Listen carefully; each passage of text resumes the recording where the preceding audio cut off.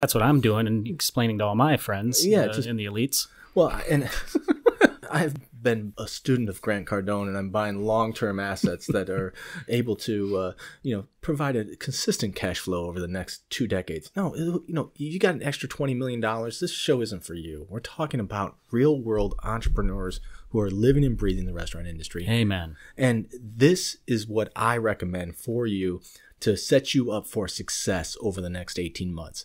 You do these things now, you will be in a position to open up new restaurants, take advantage of opportunities that you're going to see in the marketplace.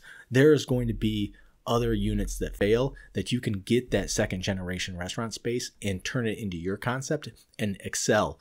Not only because you have a good operation and a good system, but because you have such a low entry cost. Mm-hmm. So what before would have cost you three hundred fifty thousand dollars just to do the build out plus another, you know, two hundred thousand dollars in startup expense is eliminated. So this is really key. I'm gonna go to the first one: build a financial buffer.